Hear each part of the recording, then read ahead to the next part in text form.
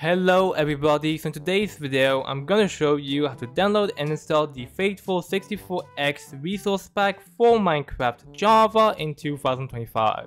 So let's get started.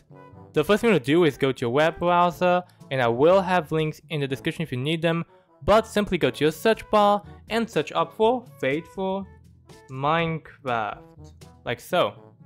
Once you do this, simply search it up and you should see faithfulpack.net Simply click on Faithful Home, and you should be on the homepage for Faithful. Now, simply go to the Downloads button here, and scroll down until you see 64X. Here it is. Now, simply select the game version that you want to play. I'm just going to play the latest Minecraft version. And go to the right and choose the download button. I'm just going to click Modern here. This will just download the Modern Faithful resource pack. And yeah, let's just wait for that to validate and then we will be able to add our Faithful resource pack to our Minecraft launcher. Here we have downloaded the Faithful pack so we can just close our web browser and we can now open up our Minecraft launcher. With our Minecraft launcher, we will be able to add our Faithful resource pack to our resource packs folder. So, once you're here, all you want to do is go to your installations tab here and you want to hover over a release where you can see a folder icon that shows up.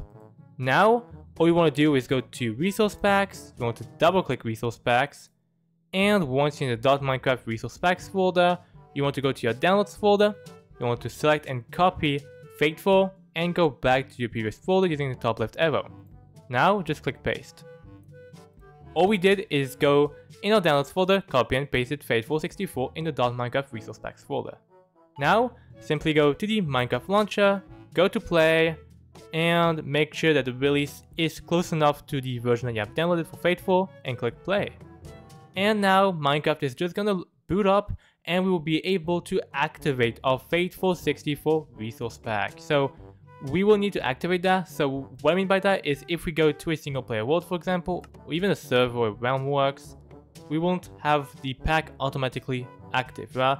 This is normal Minecraft and what this means is that we need to activate the Faithful Resource Pack. And the way we do this is simply by going to Escape, Options, Resource Packs, and here we can see Faithful 64. Simply select it, it will go here, and click Done.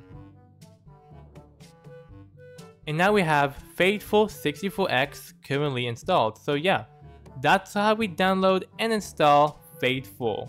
So if you liked today's video, make sure to like and subscribe. And see you for the next one. Bye!